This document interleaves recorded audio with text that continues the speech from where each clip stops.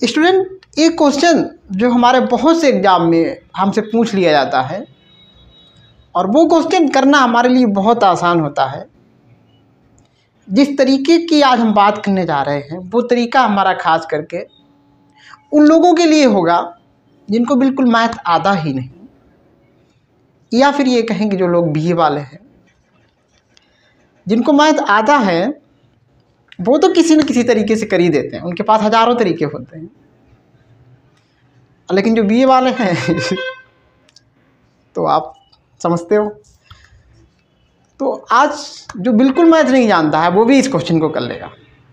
और जिस दिन ये क्वेश्चन आपके एग्ज़ाम में आ जाए तो प्लीज़ कमेंट कमेंट ज़रूर करना है, पता नहीं क्यों आप लोग कमेंट लाइक करना लाइक करने में इतनी कंजूसी करते हो। आप ही जानो। फ़िलहाल, हम लोग चलते हैं अपने टॉपिक पर। क्वेश्चन कैसे पूछता है? कि जैसे कह दिया कि कोई हमारा विक्रेता है, दुकानदार है, वो क्या करता है? एक में दो की दर से कोई वस्तुएँ खरीदता है। एक में दो की दर से खरीदता है और तीन में पाँच की दर से बेच देता है। तो उसे कितने प्रतिशत का लाभ हुआ? ऐसे क्वेश्चन पूछा जाता है। नंबर बदल देंगे, लेकिन बिल्कुल तरीका यही होता है कि एक में दो की दर से उसने खरीदी और तीन में पाँच की दर से बेच दी। तो what percent what percent profit will be क्या उसे हमारा कितने परसेंट उसे लाभ हुआ होगा? और इस तरीके से अगर वो लाभ बोल ही देता है लाभ हानि जो भी है, अगर नहीं बोलता फिर भी हम पता कर लेंगे। तो चलिए देर किस बात की? देखते हैं हम लोग। सबसे पहले आप इधर लिख लो वस्तु ऑब्जेक्ट और इधर आप लिख लें रुपए।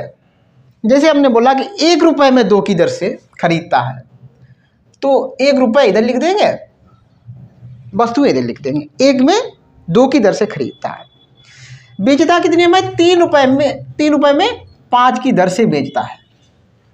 तो उसे कितने प्रतिशत का लाभ हुआ? बिल्कुल ऐसे आपसे क्वेश्चन पूछेगा। तो हमें करना क्या है? ऐसे इंटू करनी है। इधर से, इधर को ध्यान रखना, ये वाली जो चीज़ होगी, ये विक्रय मूल्य आता है। इधर से, इधर वाली। टू, थ्री या सिक्स, ये आएगा आपका विक्रय मूल्य एस पी सिक्स रुपये ठीक है एस पी मतलब सेलिंग प्राइस, विक्रय मूल्य। जब इनकी इनकी करेंगे तो फाइव बन जा फाइव ये आएगा सी पी फाइव आसान है। पहले वाला एस पी विक्रय मूल्य बेचा हुआ मूल्य एंड सेकेंड वन फाइव बन जा फाइव ये हमारा सी पी यानी कि खरीदा हुआ मूल्य तो ये हमारे मूल्य आ जाते हैं। अब देखें इसमें प्रॉफिट कितना है? भाई, इतने में खरीदी, इतने बेची। तो प्रॉफिट क्या है? वो हमारा एक रुपये हो जा हो रहा है प्रॉफिट एक रुपये का। अब लाभ कैसे निकालते हो? लाभ तो हर कोई जानता होगा प्रॉफिट का परसेंट कैसे निकालते हैं? तो प्रॉफिट ऊपर रखते हैं नीचे C P always C P हमेशा नीचे सी पी आता है। सी पी बोले तो कितना फाइव है? तो फाइव यहाँ डाल दीजिए फाइव ऊपर जो लाभ वो नीचे सी पी लिखेंगे क्रय मूल्य लिखेंगे और इंटू में करते हैं हंड्रेड भैया लाभ ऊपर लिखो, नीचे क्रय मूल्य लिखो इंटू हंड्रेड कर दो। और इसको आप डिवाइड कर दो तो आपका कितनी बार जा रहा है? ट्वेंटी टाइम जा रहा है। जो प्रॉफिट आएगा वो हमारा twenty five sorry twenty twenty percent profit आ गया। बोलो, आसान है? इस तरीके से बहुत आसान क्वेश्चन आ जाते हैं, जो हमें सेकंडों का काम है, कर जाएँगे, कोई दिक्कत नहीं है।